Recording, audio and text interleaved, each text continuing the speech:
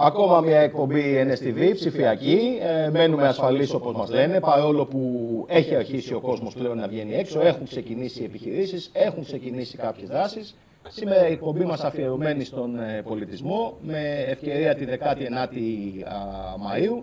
Έχω σήμερα μαζί μου από την Ένωση Ποντίων Νέας Μήνης Αγίου Δημητρίου Παλαιού Φαλίου τέσσερα μέλη, ε, την πρόεδρο, την γραμματέα, ε, ένα μέλος της νεολαίας και έναν κύριο, ο οποίος πέραν από μέλος θα μας παίξει και μουσική στο τέλος ποντιακή για να μας θυμίσει ε, ότι δεν πρέπει ποτέ να ξεχνάμε. Λοιπόν, να σας καλησπερίσω. Θα ξεκινήσω από τις δύο κυρίες, από την πρόεδρο, Ράνια Χρυσοχοίδου. Καλησπέρα, Ράνια. Καλησπέρα Δημήτρη, ευχαριστούμε για τη φιλοξενία. Θα συνεχίσω και εγώ σας ευχαριστώ που είστε μαζί μου. Θα συνεχίσω με τους τύπους με την ε, Γενική Γραμματέα, την Έλενα την ε, Συμμαχίδου. Καλησπέρα. Καλησπέρα και σας. Ε, θα παρακαλέσω, επειδή γνωριζόμαστε όλοι, ευχαρίστως αν θέλετε να μιλάμε στον ελληνικό, δεν θα είχα καμία αντίρρηση. Θα συνεχίσω με την Δέσποινα την ε, Κανάκη Χρυσοχοίδου. Καλησπέρα, Δέσποινα. Καλησπέρα. Και να πούμε ότι εσύ είχες και την ιδιαίτερη εμπειρία να έχεις πάει δύο φορές στον Πόντο, που νομίζω πολλοί άνθρωποι θα το ζήλευαν αυτό, γιατί είναι μια εκδομή που οφείλουμε στις ρίζες μας να κάνουμε, επειδή και εγώ είμαι ποντιακής καταγωγής, όπως ξέρετε. Και, τελε, και τελευταίο, αλλά και σημαντικό, θα χαιρετήσω τον Φώτη τον Κοζηράκη, ο οποίος είναι μουσικός και φοιτητής. Καλησπέρα, Φώτη, και σε ευχαριστώ και εσένα που είσαι μαζί μας. Εγώ ευχαριστώ. Καλησπέρα σας. Λοιπόν, ε, Ράνια, θα ξεκινήσω από σένα, πρόεδρος, 101 χρόνια από την ε, γενοκτονία των ποντίων.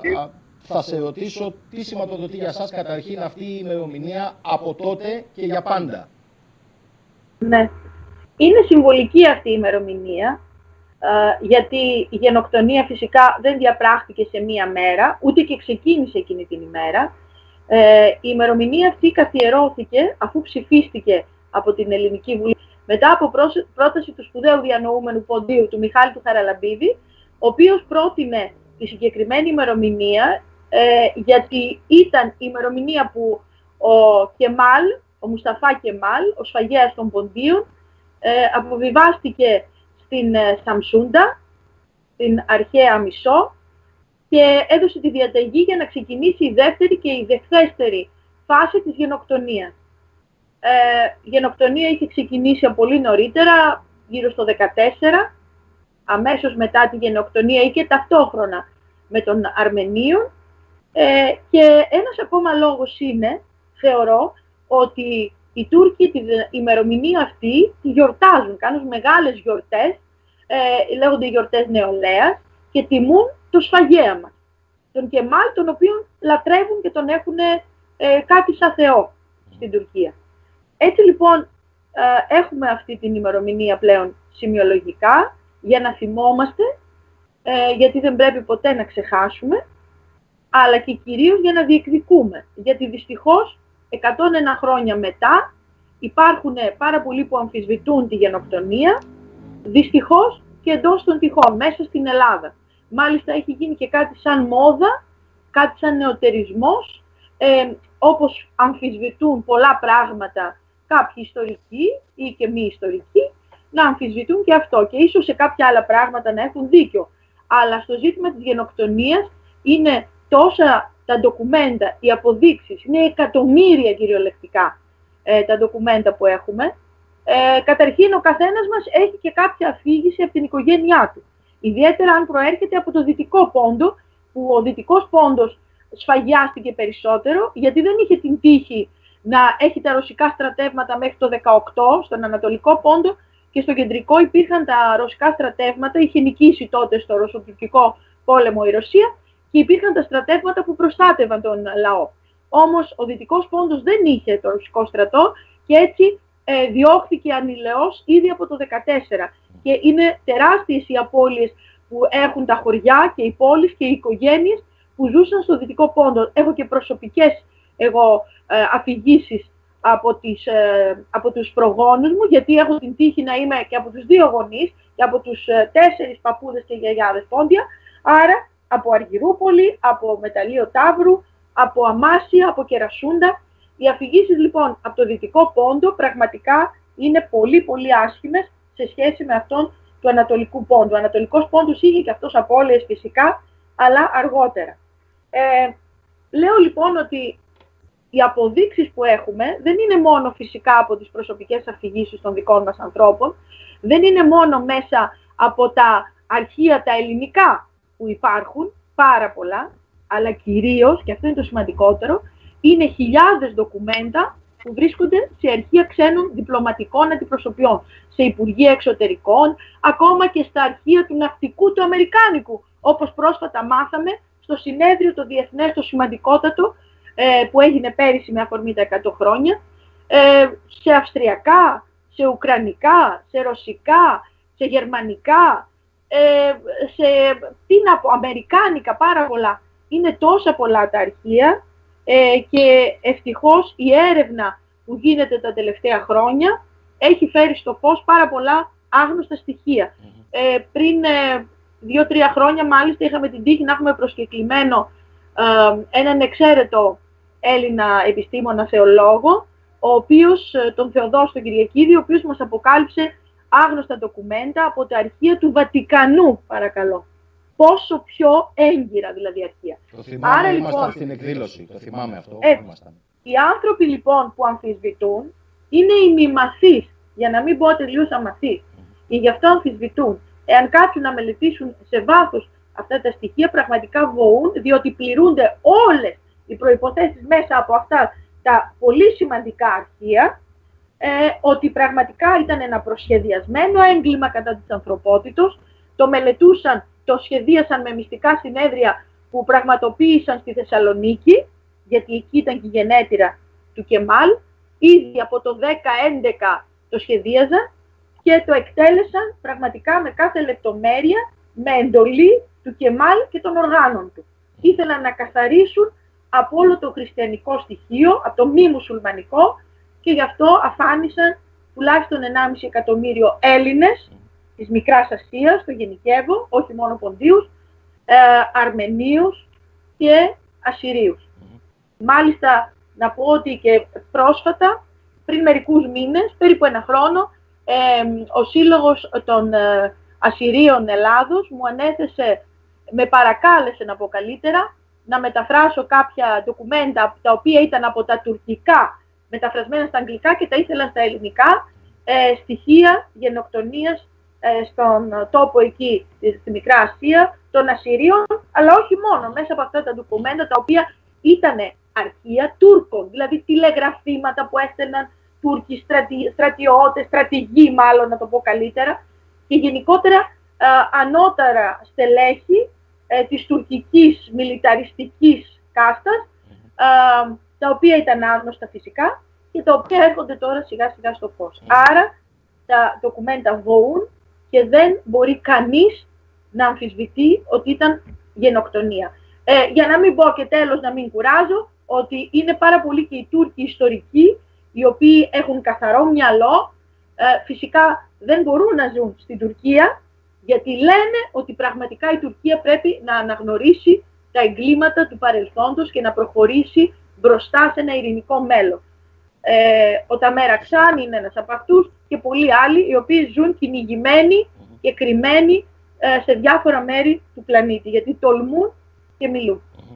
Ε, πριν, πριν ε, ρωτήσω πώς τιμήσατε την ε, φετινή ημερομηνία της γενοκτονίας, ε, θέλω να πω για επειδή δεν φαίνεται και πολύ καλά ότι οι δύο κυρίες φοράνε το λογότυπο, το μπλουζάκι με το λογότυπο της ε, γενοκτονίας.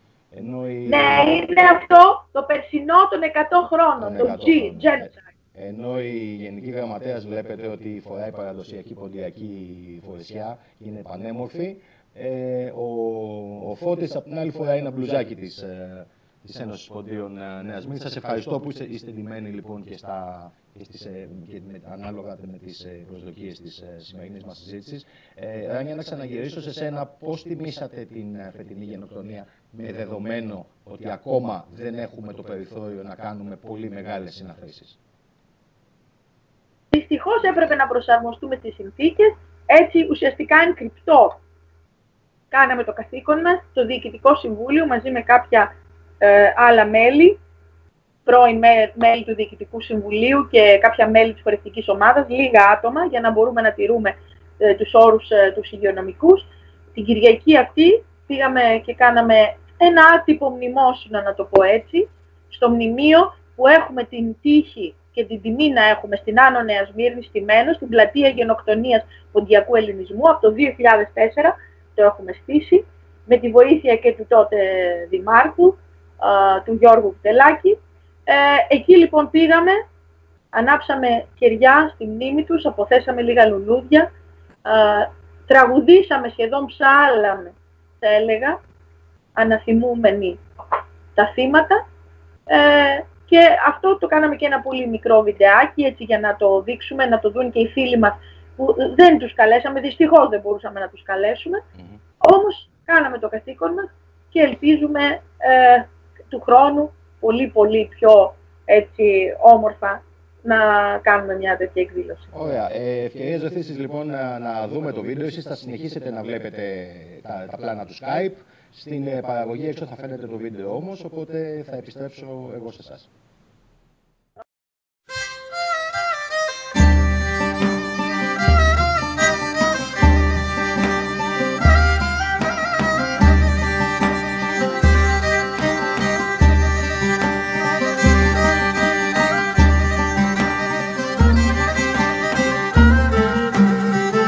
Συρανθεί το ημίνο λάρινγκς Συρανθεί το ημίνο λάρινγκς Εάν επιλαθώ μεθά σου Εάν επιλαθώ μεθά σου Ο Πάτριος ποντία γη Ο Πάτριος ποντία γη Βρισκόμαστε στο Μνημείο Γενοκτονίας Ποντιακού Ελληνισμού.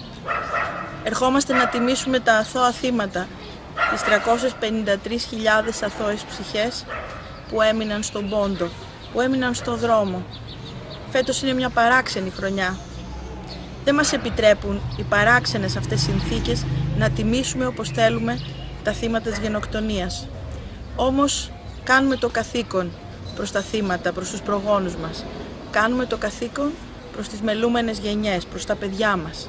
Τιμούμε τους νεκρούς μας, διεκδικούμε την αναγνώριση. Ένα κερί στη μνήμη αυτών των αθώων ψυχών. Λίγοι άνθρωποι, πολύ λίγοι, για να μπορούμε να τηρούμε και τις υγειονομικές συνθήκες που πρέπει. Λίγα λουλούδια για να ποτίσουμε το φόρο τιμής που αρμόζει στην πόντια μάνα αλλά και σε όλα τα θύματα της γενοκτονίας. Είναι μαζί μας δύο πόντιοι δεύτερης γενιάς, ο Τάσος ο Χρυσοχοίδης, 90 χρονών και η Ειρήνη Παπουλίδου, θα αποθέσουν αυτά τα λουλούδια στο μνημείο μας. Λίγα λουλούδια στα πόδια της πόντιας μάνας. Αυτής που κράτησε τον ποντιακό ελληνισμό. Σε αυτήν ίσως να οφείλουμε την ύπαρξή μας εμείς σήμερα. Ας στηρίσουμε ενός λεπτού σιγή στη μνήμη των νεκρών μας.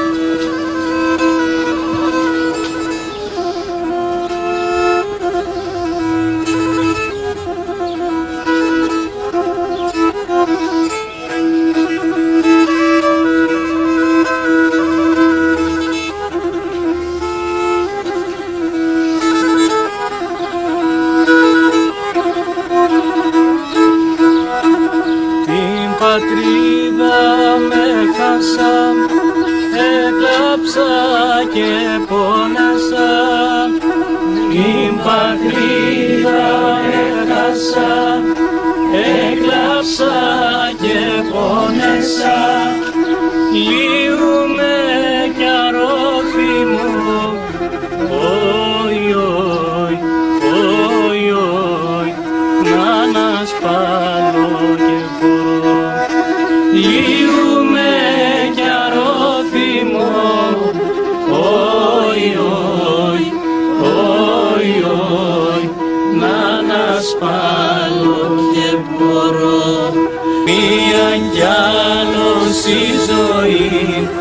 Μία κι άλλος η ζωή, σωπεδά συναυλή μία κι άλλη ζωή σώπεδα την συναυλή μέρο πόνα σε πεινά.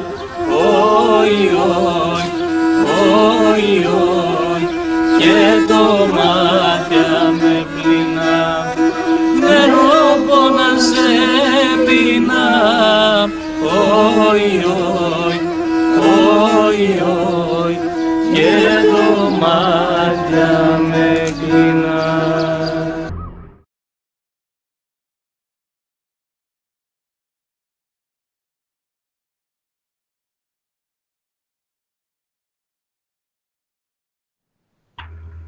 Λοιπόν, ολοκληρώσαμε το βίντεο.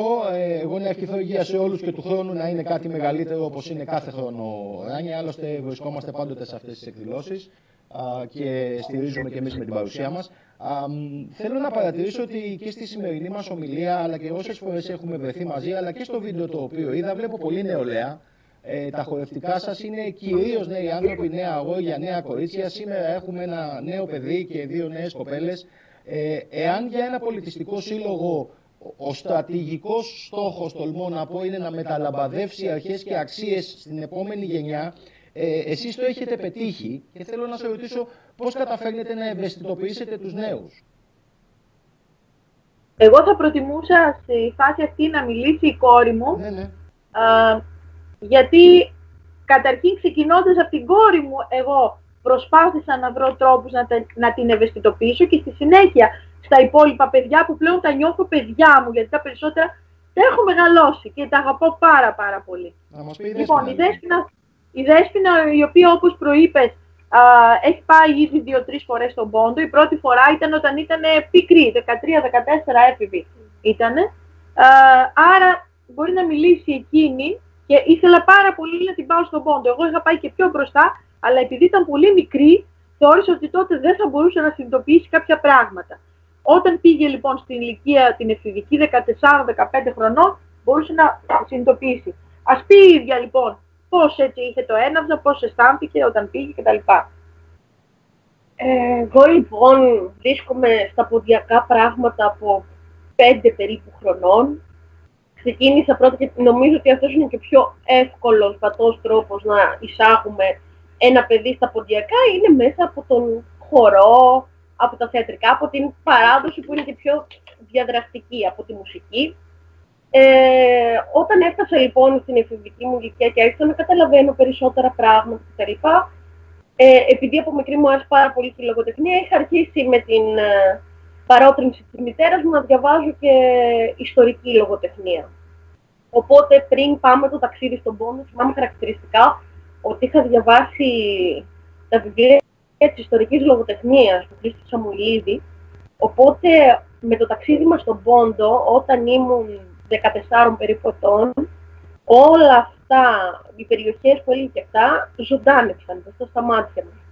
Ήταν βέβαια πολύ έντονο, γιατί το βιβλίο, τα βιβλία που έχω διαβάσει δεν ήταν εύκολα, εύπεπτα, γιατί προφανώς αναφερόντουσαν σε δύσκολα θέματα όπως αυτά της γενοκτονίας. Ε, και ήταν τρομερά συγκινητικό και έντονο, θυμάμαι, σε αυτή την ηλικία να κάνω εικόνα όλα αυτά που έγραφε το βιβλίο, που αν και φανταστικά ήταν εμπνευσμένα από πραγματικά γεγονότα, να τα κάνω εικόνα σε αυτά τα μέρη που πήγαμε και να βλέπω όλα αυτά και από τις αφηγήσεις του βιβλίου, αλλά και από τις αφηγήσεις των παππούδων μου, ε, που μου λέγανε και αυτοί που ξέρουν από τους ε, γονείς τους, τους παππούδες τους κτλ. Για τα παρχάρια, αυτό το, αυτή την α- υπέροχη πρασινάδα που είναι γεμάτη ο πόντος, ε, το πώς ήταν ας πούμε η Αμάσια που είναι μια πανέμορφη πόλη. Ο, ήταν τόσο έντονο και να βλέπεις και ανθρώπους όταν πήγαμε εκεί πέρα ε, να παίζουν ποντιακή λύρα. Ή αυτό που με έχει σημαδέψει από τότε νομίζω είναι ότι είχαμε συναντήσει κάποιους ανθρώπους μέσα στην, ε, μέσα στην τραπεζούντα, αν δεν κάνω λάθος, που Έτσι, ήταν ένας κύριος και μιλούσε ποντιακά. Και εγώ ήμουν τότε 14 χρονών και επειδή είχα μάθει από το σπίτι μου, από τον παππού μου και από τη γιαγιά μου να μιλάω ποντιακά, ε, άρχισα να μιλάω ποντιακά μαζί του. Και είχαν λάμψει τα μάτια του από ενθουσιασμό που μιλούσε με κάποιον άλλον και τόσο διαφορετικά, γιατί είχαμε έτσι τεράστια διαφορά ηλικία. Και με ρωτούσε πώς γίνεται, εσύ είσαι Ελληνίδα, εγώ είμαι Τούρκος, εδώ πέρα έχουμε τεράστιες διαφορά ηλικίας. Πώς είναι δυνατόν και μιλάμε την ίδια γλώσσα; Τα ρωμαικα τα λένε εκεί πέρα. Και φυσικά ήταν αυτό ότι η τουρκική κυβέρνηση όλα αυτά τα αποκρύπτει και στο διαδίκτυο τα τελευταία χρόνια έχει καταφέρει να αποκρύψει, να μην υπάρχουν αναφορές για τον πόντο, για την ποντιακή διάλεκτο, οπότε οι άνθρωποι ήταν πραγματικά στα τυφλά και αναρωτιόντουσαν πώς είναι δυνατόν δύο άνθρωποι από διαφορετικές χώρες να μιλάνε την ίδια γλώσσα. Ε, μετά από το 2014 πήγαμε ένα ταξίδι στην Καπαδοκία, ε, που είχαμε πάει στο εικόνα η Καπαδοκία και ο δυτικός πόντος που περιλαμβάνει και τα μεταλλεία του Ταύρου κτλ. Και, και εκεί είχαμε την ευκαιρία μάλιστα να βρούμε το σπίτι της προγιαγιάς μου, ρωτώντας, επειδή ξέραμε ποια ήταν η θέση του στο χωριό περίπου κτλ. Ε, πήγαμε λοιπόν σε αυτό το χωριό και είπαμε το σπίτι του επάρχου. Είχαμε και τον παππού μου μαζί, ο οποίος σήμερα είναι 90 χρονών και ο οποίος ξέρει εκτός από ποντιακά μιλάει και τουρκικά, οπότε συνεννοήθηκε μαζί τους στα τουρκικά και ήταν η καλύτερη του του παππού μου, γιατί μπορούσε να συνεννοηθεί σε, ε, κάπου στο εξωτερικό.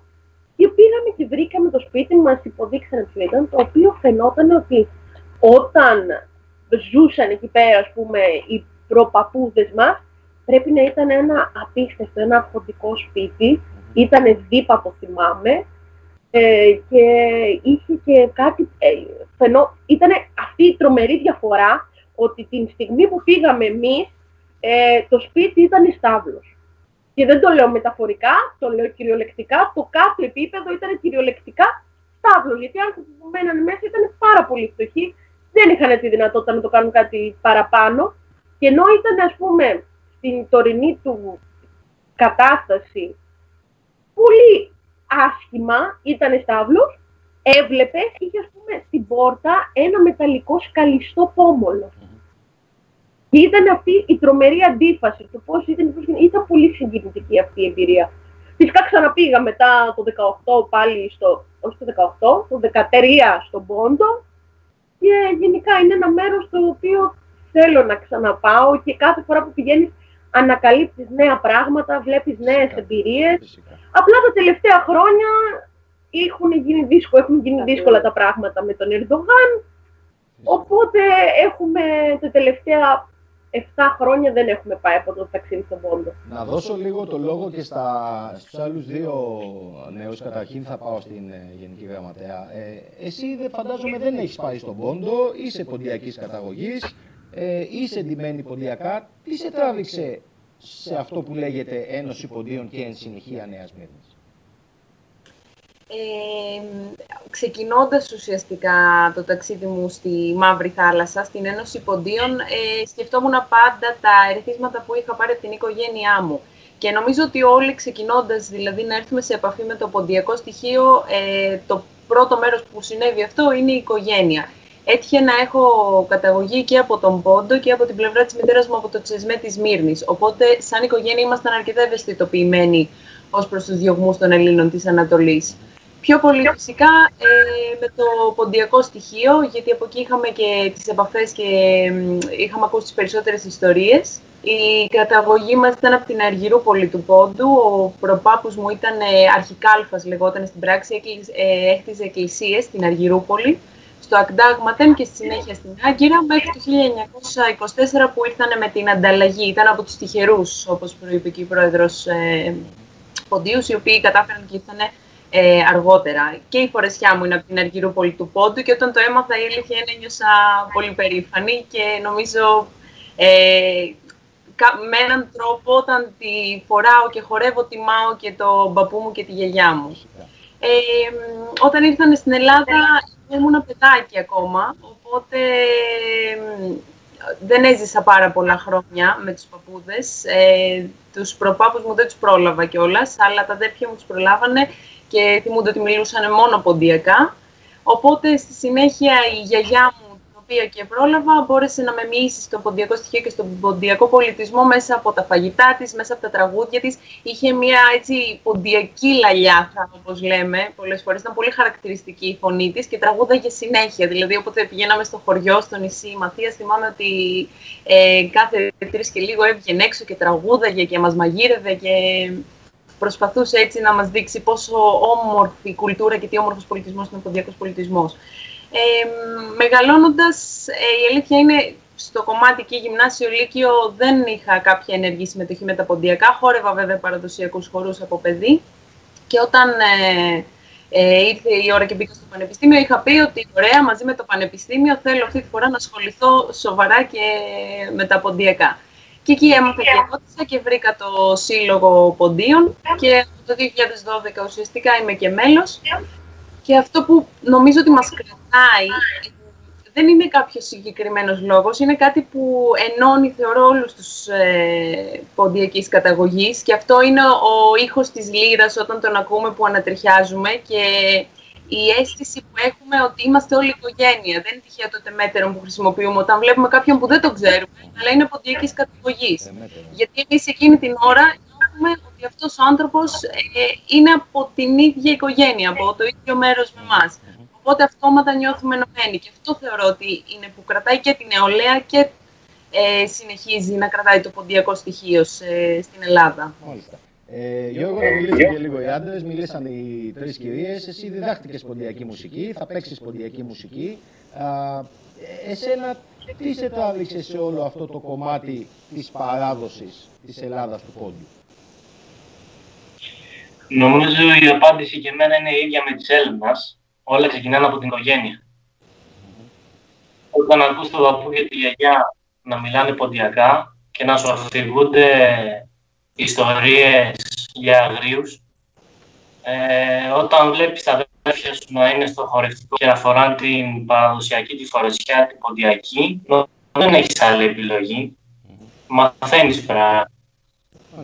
Εμένα οι παππούδες μου έχουν έρθει ακόμα από το χωριό Κοσμά της Τραπεζούντας ήρθαν το και πρώτα από της Καβάλας ή αλλιώς Κάροβα ε, και έχτισαν το πρώτο καφένιο του χωριού. Στη συνέχεια, ο παππούς μου και η γιαγιά μου καλλιεργούσαν εκεί πέρα καπνά, εκεί μεγάλωσαν, εκεί γεννήθηκαν και το 1967, αν δεν κάνω λάθος, έκαναν οικογένεια και μετακόμισαν εδώ στην Αθήνα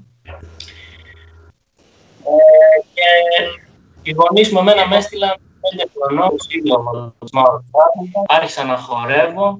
Έξι χρονών κατάφερα και έμαθα τον πυρίχιο. Και το βάλα στο τέλος να χορεύω τον πυρίχιο ο μικρούλης δίπλα τα Και μετά από χρόνια άρχισα να κάνω και μαθήματα λύρας Έκανα με το Γιάννη του Καζατζίδη, είναι ένα παιδί του συλλόγου. Το γνωρίζω το Γιάννη. Ο Γιάννης Καζατζίδης. Ε, και μέχρι σήμερα το έχουμε ρίξει και στο τραγούδι λίγο. Αυτά μπράβο σου, μπράβο σου, μπράβο σου. Ε, να ξαναπάω λίγο στην Προέδρο Ράνια, πέρσι 100 χρόνια. Καταρχήν, ένα λεπτό. Θέλω να μου επιτρέψεις, επειδή εγώ αυτά τα παιδιά σου είπα ότι τα λατρεύω, τα αγαπάω πάρα πολύ. Ο Φώτης ο Κοζηράκης λοιπόν, το γένος Φωτιάδη, είχε την τύχη να μην είναι από από την τραπεζούντα, από τη Ματσούκα. Το χωριό Κοσμά είναι από τη ματσουκα Θα το σκοτώσουν οι Ματσουκάτες άμα ακούσουν απλό τραπεζούντα ότι είπε. η, Ματσούκα, η Ματσούκα λοιπόν ε, είχε την τύχη να έχει πάρα πολύ, πολύ καλούς μερακλείδες. Και είναι πολύ γνωστά τα επιτραπέζια της και τραγουδάνε όμορφα και έχουν πολύ ωραίους σκοπούς και μια πολύ έντονη παράδοση. Είναι η Ματσούκα είναι η περιοχή, για όσους δεν γνωρίζουν τον Πόντο, που βρίσκονται τα τρία παλιότερα και σημαντικότερα μοναστήρια του Πόντου. Ο Αγιάννης, ο Βαζελώνας, ο Αγιώργης ο Περιστερεώτας και η Παναγία Σουμελά φυσικά. Και ο Φώτης είναι και ο κοντοχωριανός μας και Χρόκαμπος, Κιδινίδες, Καβάλας, ο πατέρας μου.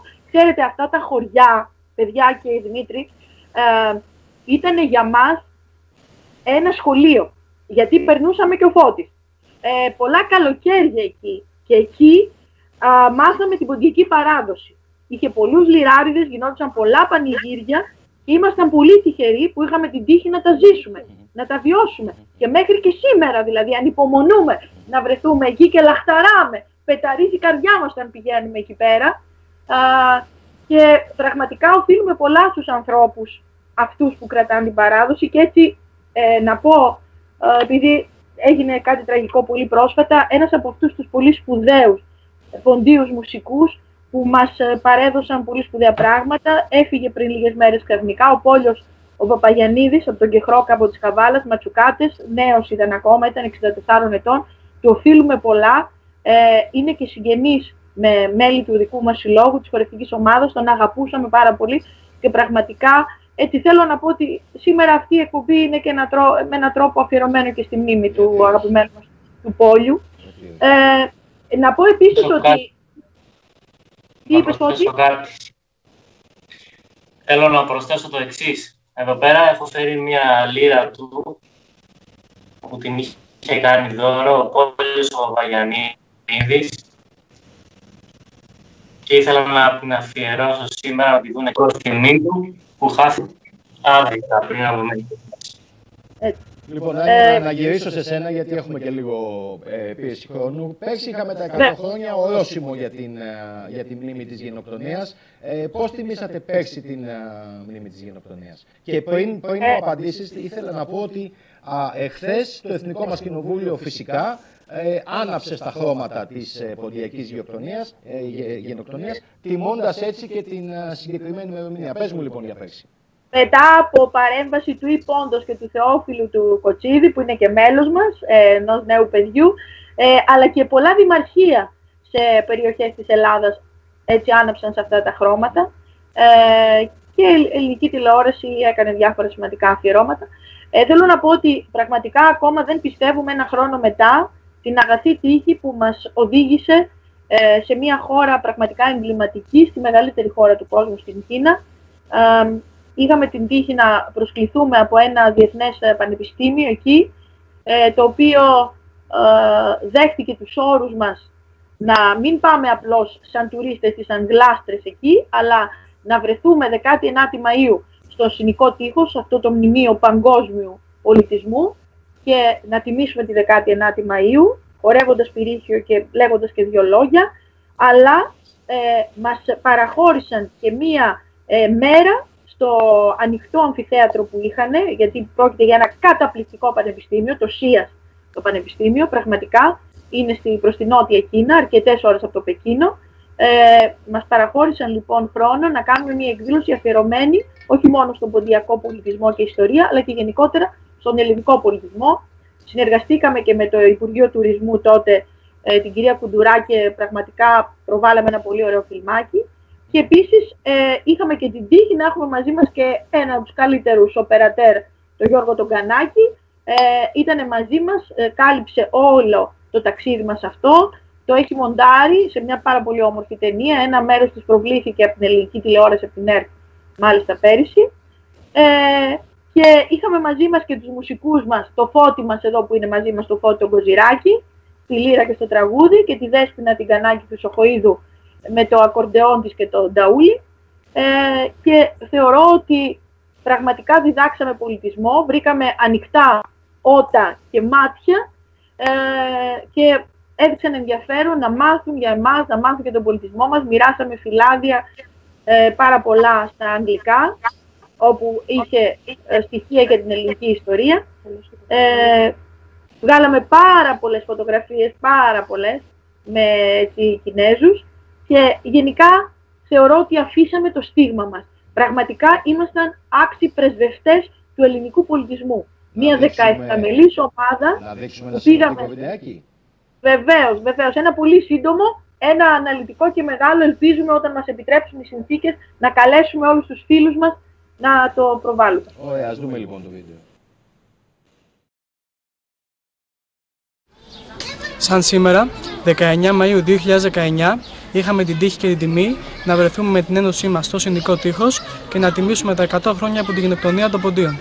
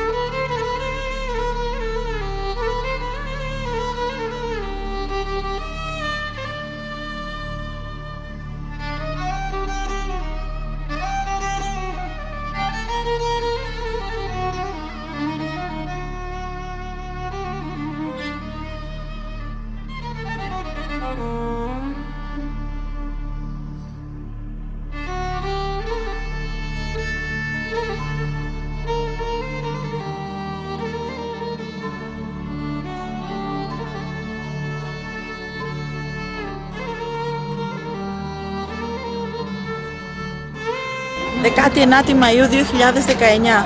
Είμαστε στο Πεκίνο, στο Συνικό Τείχος και έχουμε έρθει να αποτίσουμε φόρο τιμή στους προγόνους μας, στα δικοχαμένα θύματα της γενοκτονίας, αλλά και στο σπουδαίο αυτό μνημείο παγκόσμιου πολιτισμού.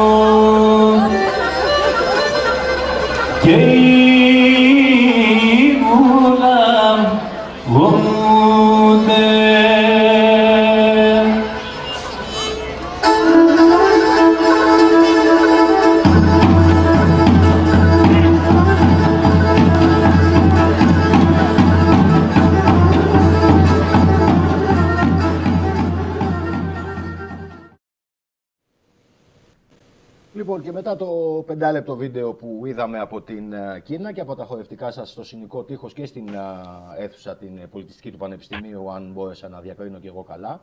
Και πριν δώσουμε το λόγο στη μουσική, η οποία θα μας θυμίσει όπως πρέπει α, πάρα πολλά πράγματα, να πάω λίγο στην Έλενα. Έλενα, πρόσφατα είχατε εκλογές στην α, Ένωση Ποντίων.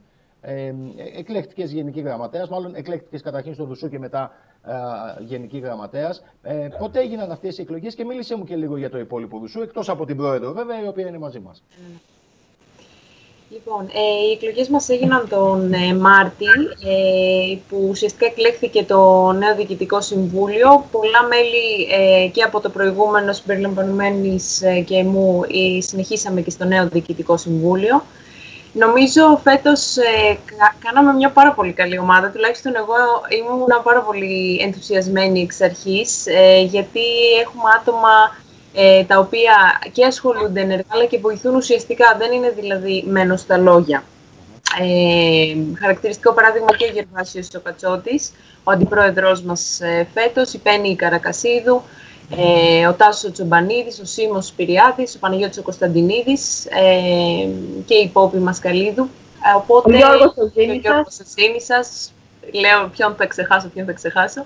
Ε, οπότε νομίζω έχουμε φτιάξει μια πάρα πολύ δυνατή έτσι, ομάδα. Βέβαια, εκεί που είχαμε τα πλάνα μας, είχαμε αρχίσει να ετοιμάζουμε το τι θα κάνουμε, ε, τι νέες πρωτοβουλίες θα πάρουμε σαν διοικητικό συμβούλιο, πάγωσαν όλα. Δυστυχώς. Δυστυχώς, ναι. Αλλά συνεχίζουμε έτσι στο περιθώριο, λίγο δουλεύουμε, προετοιμάζουμε πράγματα έτσι ώστε όταν με το καλό ξανανοίξουμε να είμαστε πολύ καλά προετοιμασμένοι. Το οποίο στους συλλόγους είναι αρκετά έτσι δύσκολο γιατί όλοι έχουμε και τις δουλειές μας παράλληλα και πέφτουν και πολλές εκδηλώσεις η μία μετά την άλλη. Οπότε είναι αρκετά απαιτητικό να μπορείς να είσαι σε όλες άψογα οργανωμένος και να έχεις προνοήσει για πάρα πολλά πράγματα. Οπότε πιστεύω ότι γυρνώντας από Σεπτέμβρη λογικά θα μπορέσουμε να ξεκινήσουμε ακόμα πιο δυναμικά τη νέα διετία. Ωραία. Ε, δύο χρόνια το σου το, το καινούριο; Ναι, ναι, δύο χρόνια. Δύο χρόνια. Βασικά. Ε, Ράνια, πάλι θα γυρίσω σε σένα αν δεν θέλεις κάτι να προσθέσεις που... Δεν πιθανόν- θέλω, θέλω, θέλω. Λοιπόν, Θα να πω θέλεις. ότι για πρώτη φορά είμαι χαρούμενη. Επιλέξαμε τη μέρα της γυναίκας να κάνουμε εκλογές.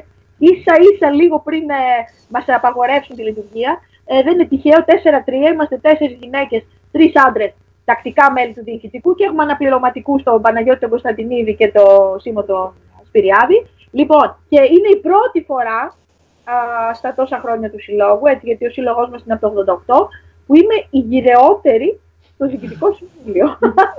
Αυτό θα σας πω μόνο. Μάλιστα. Πάντα ήμουν η νεότερη, τουλά- τουλάχιστον μέχρι πριν λίγα χρόνια. Μάλιστα. Λοιπόν, ε, άρα αυτό για μένα είναι παρήγορο, το ότι νέα παιδιά αγαπάνε, έχουν ενδιαφέρον και ασχολούνται πραγματικά. Ε, και μάλιστα ε, τα μέλη του Διοικητικού Συμβουλίου είναι και από το Παλαιοφάλιρο και από τον Άγιο Δημήτριο, η Έλενα από τη Δάφνη, εγώ από τη Νέα Σμύρνη, οπότε και αυτό είναι πάρα πολύ σπουδαίο γιατί ε, κάνουμε πολύ ωραίες συνεργασίες πέρα από το δικό μας το Δήμο βέβαια της Νέας Μύρνης και με τον Γιάννη τον Φωστηρόπουλο, ο οποίος είναι και ποντιακής καταγωγής, είναι ένα εκπληκτικό παιδί, Και φίλος. τη Μαρία την Ανδρούτσου, επίσης μια κυρία, τι να πω, πραγματικά είναι κοντά μας και συνεργαζόμαστε. Και τέλος, θέλω κλείνοντας να πω, ε, για να κάνουμε την πάσα στο φώτι μας που θα έτσι μας ταξιδέψει μουσικά, ε, ότι νιώθουμε ιδιαίτερα περήφανοι γιατί θεωρώ ότι έχουμε μια μοναδικότητα σαν σύλλογος, παρόλο που είμαστε ένας ταπεινός, ένας φτωχός σύλλογος, όχι πολύ παλιός. Ε, τα τελευταία χρόνια έχουμε κάνει πολύ σπουδαία πράγματα ε, σε εκδοτικό τομέα, δηλαδή έχουμε κάνει κάποια ημερολόγια που ουσιαστικά είναι λευκόματα ε, πολύ σημαντικά. Την, τελε- την προηγούμενη χρονιά ε, πραγματικά κάναμε αυτό εδώ το, ετοιμάσαμε αυτό εδώ για το 2020 δηλαδή, αυτό εδώ το ημερολόγιο που τι ημερολόγιο είναι ένα λεύκομα ιστορικό καταπληκτικό που έχει φτάσει στα πέρα της οικουμένης ήδη, αλλά και παλιότερα, δηλαδή τα τελευταία ε, 7-8 χρόνια έχουμε κάνει εξαιρετικές δουλειές που έχουν πουλήσει και έχουμε ακούσει τα καλύτερα από ε, Πάντο- κριτικές. Πάντοτε είναι πολύ Και καλές οι νιώθουμε δουλειές, το πάρα επιβεβαιώνω και εγώ. Πραγματικά είμαστε πάρα πολύ περήφανοι γι' αυτό Ωραία. και ελπίζουμε να έχουμε τη δύναμη να συνεχίσουμε γιατί πραγματικά ε, ο καιρός της καραντίνας μας δυσκόλεψε, αναγκαστήκαμε να ακυρώσουμε πολλές δράσεις μας, τα χορευτικά μας, α, το ταξίδι που προγραμματίζαμε στην Ήπειρο που θα κάναμε και κάποια εκδήλωση, στην Ισπανία που επίσης θα βλέπαμε τους Ισπανούς φίλους μας και θα κάναμε και κάποια δράση. Ωραία. Αλλά πρώτο ο Θεός ας φτιάξουν τα πράγματα και είμαστε εδώ με Μεταθέτουμε όρη. λοιπόν. Μεταθέτουμε, δεν αναβάλουμε. Το να Ναι, ναι. μεταθέσουμε δεν είναι πρόβλημα. Νομίζω να μιλήσει η Λίρα τώρα, εφότι που έχει ξεκινήσει, θέλω να μας πεις τι θα μας παίξεις και αφού τελειώσεις το κομμάτι, μετά θα σας καληνυχτήσω. Επίσης να πω ότι ο Φώτης μας είναι ο λιράρης μας στο παιδικό μας, στην παιδική μας ομάδα, στα παιδάκια του Δημοτικού, γιατί ακόμα και τα παιδάκια κάνουν με ζωντανή μουσική.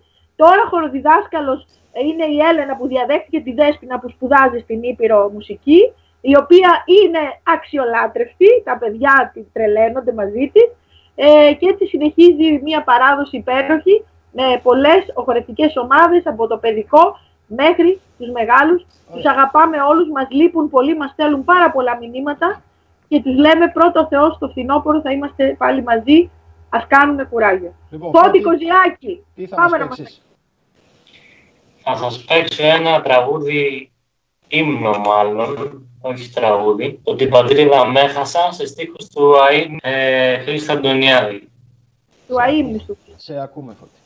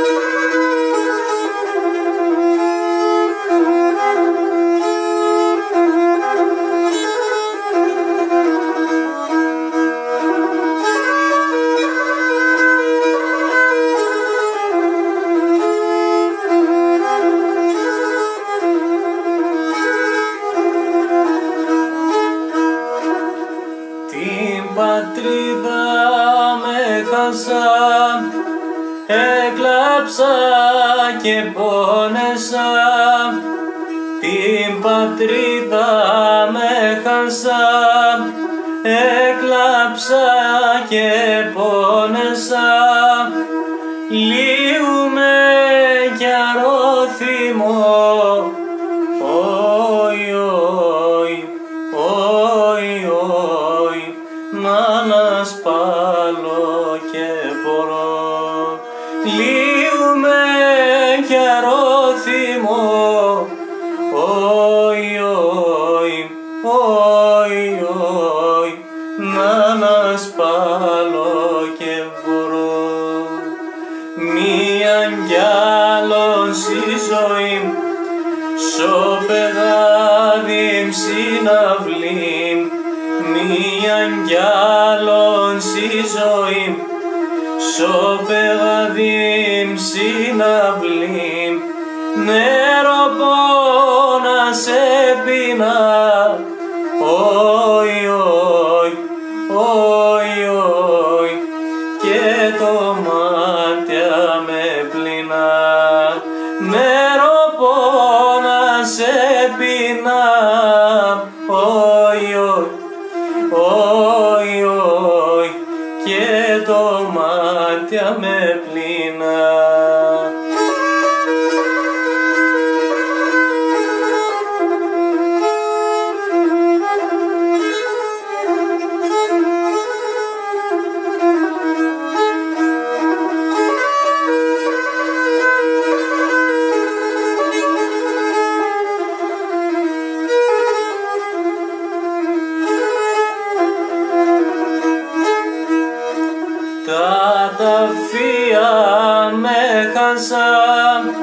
Δε θα ψάκαινες σπαλά. Τα ταφεία με χάσα, δε θα ψάκαινες σπαλά. Τε με τέρτσα να στορώ,